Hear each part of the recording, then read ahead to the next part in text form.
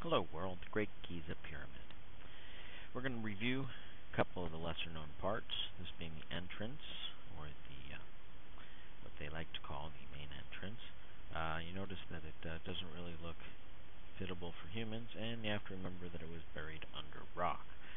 So, and uh, they say that it was to hide it, but um, well, I have my other theories, and you'll see them shortly. Another room that you don't see a whole lot is this way down at the bottom of the uh, pyramid. Uh, they call it the uh, subchamber. It's a good name for it. And um, it has a funny shape, and it's all square in form, except for the what they call the unfinished room. And uh, well, we can put eyes on that. You can see why they call it the unfinished room. And uh, well, you'll see more about this room. But one thing that's very hard to see from all those pictures is the granite rocks that are hiding in those rooms. Everything else in and around them is pretty much limestone, very non-conductive, but you got two granite rocks, one there, one there. And if you want to put eyes on that, that's one down there. And if you turn around and look the other way, it's hanging out down there in the hall, and the other one's hanging out over here. So, one other room that a lot of people don't spend, spend a lot of time caring about is the grotto. Um, now they say this was a well, but uh, yes, it was a well, but uh, it wasn't for anybody escaping or anything of that. We'll see why. But it has another granite rock in there. We'll call that granite rock B, just in case we need to refer to it. Now, when we add water, got to remember that the uh, water is going to be filtering through those rocks. Uh, that way, sticks, stones, fish. I don't know about stones that float, but sticks and fish and things like that won't get in there. And it ensures that the air has a way out. That's what that uh, flow control valve is right there. It ensures that the air, or later to be seen, the oxygen has a way out. The water is going to flow down into the system very easily, and it's going to fill up the uh, bottom chamber there, no big deal. It's going to continue to fill up, and it's going to fill its way into the grotto, where it's going to fill up to the top of the entranceway to the door because water can't go any higher than that. It's going to spill into the room, you know, pushing out all the oxygen that's in there, covering the rock, and it's going to work its way up. I'm not sure it's going to be able to go any higher than that because of the lock system, but just in case there's amounts of pressure, let's just bring it all the way up here to water level and watch the system come to play. Now what's going to happen down here is you're going to use some uh, physiostatic static electricity. Now, this doesn't give you a lot of electricity. You're not going to have enough to do any arc welding or anything like that. But you have enough there that's just slightly above, I'm going to say around 2 volts at least. But it only takes 1.3 volts for electrolysis. So that's enough voltage to start electrolysizing water, which is basically where you break the water, you take the hydrogen the oxygen, the you know the uh, di, what is it, dihy dihydride monoxide, and you're going to break it into hydrogen and oxygen. Poof, two oxygen molecules for every oxygen, two two hydrogen for every oxygen. That's why it's uh, H2O. Anyway, so that's going to happen a whole lot. The hydrogen is going to be bubbling off that A rock, and the uh, oxygen is going to be bubbling off the. Uh, sorry, hydrogen is going to be bubbling off the C rock, and the oxygen is going to be bubbling off the A rock. Cathode and anode, if you want to know their real names. And it's going to be collected across the top of the uh, ceiling there in that pool, that little cutout there. It's going to work its way back to that bubble there, and it's going to work its way back to that bubble there. And that guy, he's standing right about here, and uh, he's looking out the hole right where the hydrogen would be going. And that's going to work its way up to the top of the king's chamber, but we'll get to that. Comes out where all the dust and seeds and stuff that they can't figure out where they came from came from. Now the uh, oxygen is going to work its way across the top of this shaft, not actually going into the other shaft, and that will wind up being important when you see how the whole system comes into play. The oxygen works its way up that shaft until it gets to the top, up here, where the flow valve there and the uh, hanging pivoted door, which we'll get into when we discuss that area in detail. Uh, that works as the flow control and makes sure that there's enough pressure in there to build back to, to build a little bit of back pressure, which is going to bring the water level down. When it uh, brings the water level down low enough, it's going to put the water in the grotto here into a vacuum.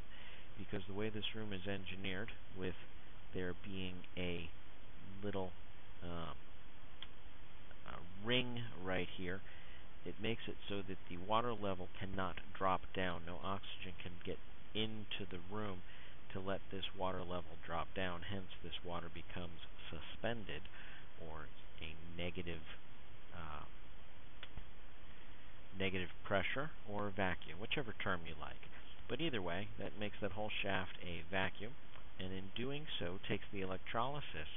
And since this now, oh I didn't tell you that, water in a vacuum or negative pressure is easier to crack, takes slightly less voltage to crack than water at a standard pressure.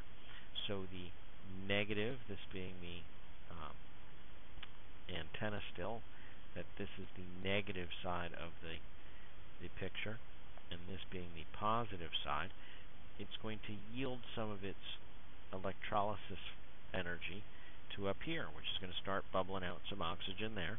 It's going to add a little bit of pressure to the room, just enough to let the to drop the water level down to let some oxygen bubble out through the top of that room, but not enough to let the water fall. It'll still hold that in a negative pressure. Now, if too much oxygen is coming off of here and not enough there, it's going to allow this water level to go up a tiny bit, and when it goes up a tiny bit, this will no longer be under negative pressure, which will then divert its energy back to here, which will then create more oxygen here, which will fill that, which will bring the water level back down. And these two are going to be playing a little bit of a ballet until they become to a happy equilibrium, and they're a control valve for each other. Now that's going to fill the oxygen up there until it gets to the top of the King's chamber. We're going to look more closely at how these two gases come into play. Now this is Chris Dunn. He uh, has done an, an, intense amount of work on this pyramid, and um, using his work and his finding that uh, the Grand Gallery and the what they like to call the King's Chamber, I like to call it either the combining room or compounding room, and you'll see both reasons why later. But um, I believe that they wind up doing some, uh, well, I'll call it sonic welding at this point, but we'll get to that later as the as the next part of the system gets into play, but not in this video. The top of the King's Chamber up here is where all the hydrogen is going to come flooding up into. And when it gets up there, since it's going to have such a large updraft at uh, at least when the system is fully functional, it will drop all the seeds and shells and dust that it brought up with it, and that is how the seeds and shells and dust will wind up being up at the top. Because uh, the water isn't perfectly pure when it filters through the rocks. Anyway, the hydrogen is going to fill from the top down because it's going to have the hydrogen still coming up from the bottom, constantly filling it.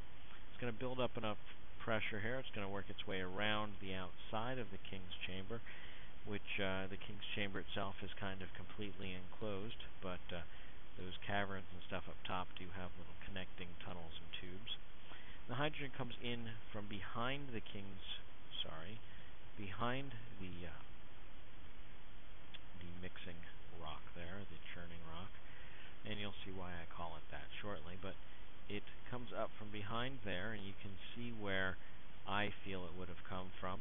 And the reason why that area of the wall is not as scarred, is not as charred and burnt, is because the hydrogen was freshly coming into the room, which kept the reaction from actually affecting the walls in that location. well, we'll get into what action there that, that I'm planning for the third video, actually. Second video will talk about how the system comes to full pressure. And then the third video I'm going to, in the series, I believe, it also doesn't take me going to talk about how they were actually using it to generate electricity. But I'm skipping ahead a lot here, so let's just look at the system. The oxygen comes up from the bottom, as we discussed, and both of them will be venting out the only shaft that actually exited the system. Every other shaft, the two in the Queen's chamber and this one, were plugged. This one winds up being your control. It needs to be a pure hydrogen conduit, and we'll discuss that later in future videos. We're not going to get into the electrical part of the system yet. So the hydrogen, which is building up pressure in the top, and the oxygen, which is coming across the floor, they're going to work their way into this system where the oxygen flowing into the rock and going down because it's heavy, and the hydrogen being pushed in from the top and then flowing out because it's light in comparison to the oxygen when it hits it. Those two churning together are eventually going to make droplets of water, which will fill this and then spill out onto the floor of the king's chamber and down through there, out the uh, pre-chamber or antechamber, down through the center of the grand gallery, spilling over down there. There's oops, people there, so you get an idea of the size. So when it comes down, basically it's going to spill into here, and that guy's standing right here, and it's going to spill into that floor floor there, and it's going to fill that pool of water. Keep in mind that this hole really isn't there. Some grave robbers dug into there, not knowing that this actually was a tool, not a grave, but we won't get into that right now. And then the water is going to, well, this is all covered up, but that's the hole that goes down to the grotto. You can see it here on the side. Nowadays it seems that it's all boxed in. We've also dyed the uh, walls there, so stained the walls so you can't tell where the scorch marks and stuff were. But these two pictures were the ones that I came across, and both of them show that there's a little ridge there. That ridge is going to keep that water from spilling down into that one leg, and we'll get into what that leg does and how it came into be. Like again, like I said, when we show how the system came to full pressure. But this water is going to spill over, down, and go back down to the grotto, where it's going to pass uh, by the oxygen that's going up and spilling back into the pool of water, which is going to then get cracked and go through this whole system again. So that is the basic setup and the flow of the fluids through the system. And I'll give you a little hint here, going back up to that. What you see here that I'm going to show you and I'm going to stick with is that this rock that they broke up through when they came from the grotto, from the top and from the outside, it's going to look like its mirror image on the other side, which means right here is going to be one of those little wells that uh, you have, the little running wells coming down the side, and I'll, uh, like this right here, and I'll explain what and why that was in that would be in the third one, because that has to deal with the power side of it. But it'll have a spillway which will cap off at just below this ridge and that will maintain a set flow. And then once the flow of, of the water is faster than it will spill over there. That is when it will start to fill up this leg. And until that flow is more than is will able to spill under that ridge and it starts to fill up the system. And like I said when the system comes to pressure that is when things will happen.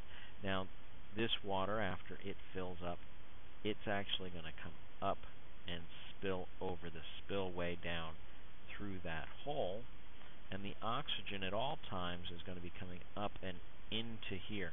And it's doing that so that when the oxygen is coming out, it's going to be coming into down here and eventually bubbling up through water.